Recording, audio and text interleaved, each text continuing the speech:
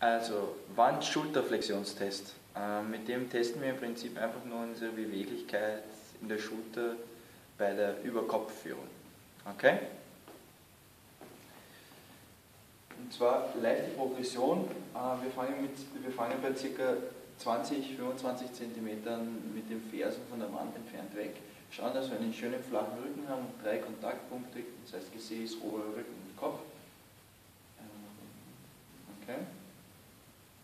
Dann gestreckte Ellbogen seitlich neben dem, neben dem Körper und dann fahren wir im V nach oben an die Wand. Wenn das möglich ist, das ähm, zu erreichen, ohne dass wir dabei den Rücken verlieren, dann steigen wir einfach ein paar Zentimeter näher zur Wand mit der Ferse, wieder drei Kontaktpunkte, wiederholen das Ganze.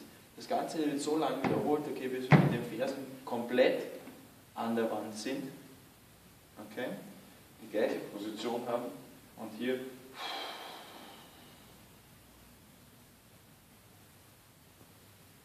versuchen, den gleichen Test auszuführen. Wenn ihr das schafft, mit den Fersen an der Wand äh, zu bleiben, die drei Kontaktpunkte Gesäß, Oberrücken und ähm, hinteren Kopf beizubehalten und in eine volle Streckung über den Kopf zu gehen, dann habt ihr optimale Schulterbeweglichkeit über Kopf.